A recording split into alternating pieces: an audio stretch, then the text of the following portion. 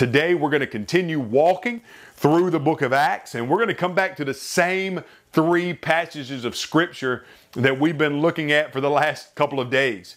Uh, just right here at the ascension of the Lord Jesus Christ. Two days ago, we talked about this idea that we as a church, if we're not careful, we can get complacent and we can just gaze up into heaven and get comfortable and forget that Christ has given us a work to do as we expectantly wait, await His return.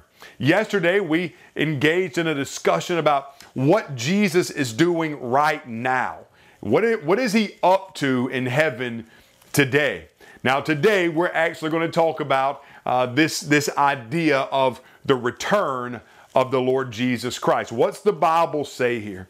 After he said this, this is verse 9 of chapter 1, he was taken up as they were watching, and a cloud took him out of their sight. And while he was going, they were gazing into heaven. And suddenly, two men in white clothes stood by him, and they said, Men of Galilee, why do you stand looking up into heaven? This Jesus who has been taken from you into heaven will come in the same way that you have seen him going into heaven. Let me read that last little portion again. Men of Galilee, why do you stand looking up into heaven? This Jesus, who has been taken from you into heaven, will come in the same way that you have seen him going into heaven. So, friends, as we take a moment to explore this verse, let me just say that one of the core foundational beliefs of the Christian faith is the return of the Lord Jesus Christ. That is possible because we believe in the resurrection of the Lord Jesus Christ. And friends, we think about the resurrection today and understand that ever since the resurrection took place, the enemy has done all he can in order to uh, diminish, demean the testimony of the resurrection. But friends, I'm telling you today that the Lord Jesus Christ is alive and well, interceding on behalf of the saints. He is resurrected. And the Bible tells us that on this day, the disciples watched him get taken up into heaven. As a matter of fact, if you go to Jerusalem today, on top of the Mount of Olives, there's a monument there at the place of ascension. It's called the Mount of Ascension. It's the place that's marked, the place where they stood there and watched Jesus get taken up. Now, friends, the Bible says they're standing there gazing when two angels stand beside them and say, Why are you looking up into heaven? This Jesus who you saw go into heaven will come in the same way that you saw him go into heaven. So, friends, I want you to think about that for just a moment because this is what I said a moment ago one of the core beliefs of the Christian faith that the Lord Jesus Christ is going to return. Friends, we preach it, we teach it, we believe it that one day in the near future, the Lord Jesus Christ is going to return in glory. And friends, I'm telling you today that I believe that day is closer than it's ever been. Jesus teaches us in the Gospels that the signs of the times will be all about us and that we will be able to see these signs and that we as believers should be able to recognize these signs that are coming along the way.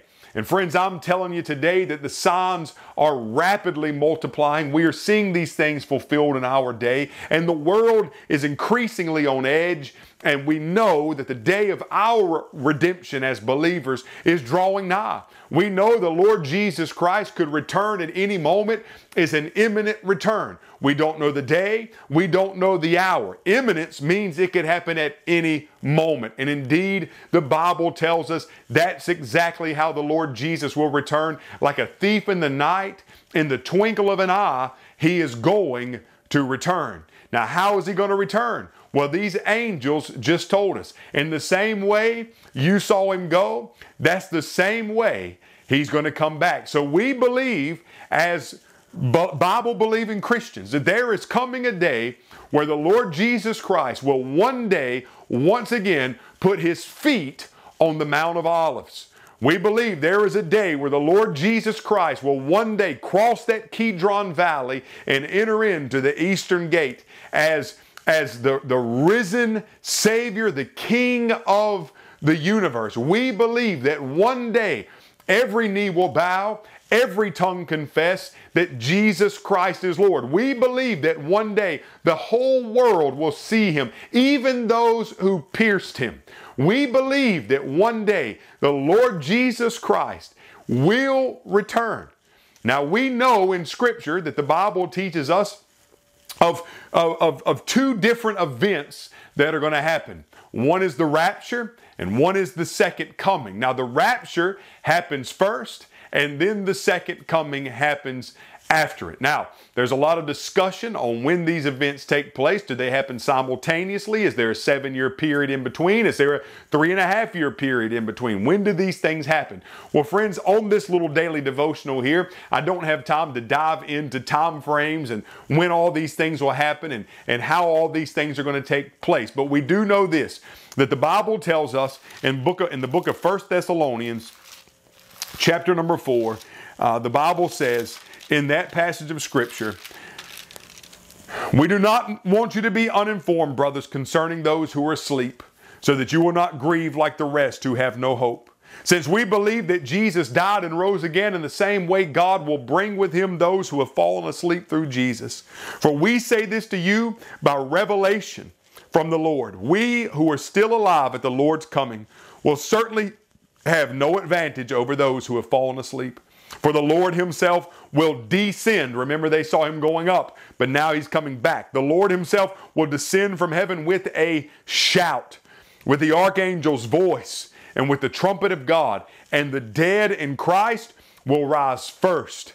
Then we who are still alive will be caught up together with them in the clouds. Remember, the cloud took him out to meet the Lord in the air. And so we will always be with the Lord. Therefore, encourage one another with these words. So, friends, the rapture comes first.